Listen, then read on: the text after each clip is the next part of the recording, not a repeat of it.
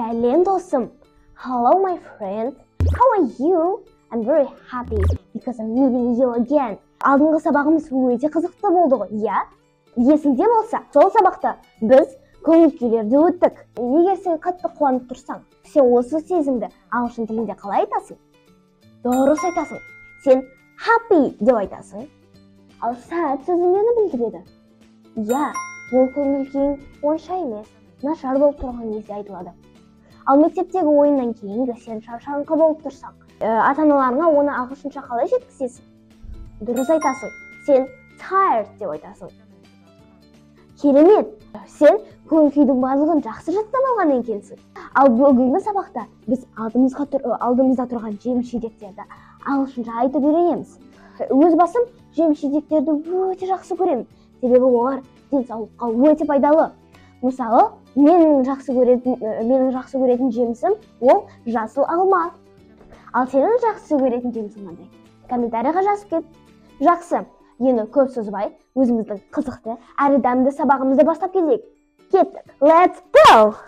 А ендеше менің жақсы көретін жемісімнен бастап көрейік. Алма ағылшын тілінде apple болады. Алма apple. Енді сен қайталап көрші? Apple. Apple. Керемет ал маймылдардың сүйікті жемісі ол бізде банан банан ағылшын тілінде қалай болатынын білесің бе банан ағылшын тілінде банана болады қарашы өте оңай сияқты иә банан банана ал енді қайталап көрейік банана банана банана супер дупер ал біздің жаңа жылдық көңіл күйді сыйлайтын жемісіміз бұл әрине мандарин ал мандарин ағылшын тілінде tangerine болады tangerine. Мандарин tangerine. Қарашы осы екі сөз өте қатты ұқсайды иә енді сенің кезегің tangerine. Tangerine. Tangerine.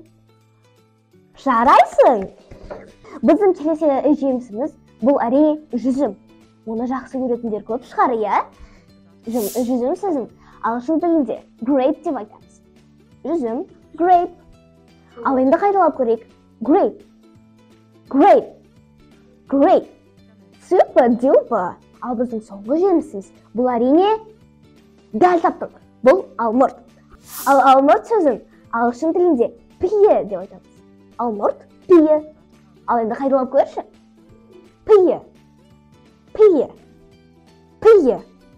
Өте керемет сен деген сөздерді жаттауда мастер екенсің. Ал енді сенің біліміңді тексеріп көрейік. Мысалы бұл не? Иә бұл банан.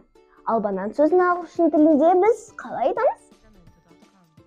Дәл таптың банан сөзін ағылшын тілінде банана деп айтамыз. Ал енді келесі кезекте бізде алма. Алма сөзін ағылшын тілінде біз дәл таптың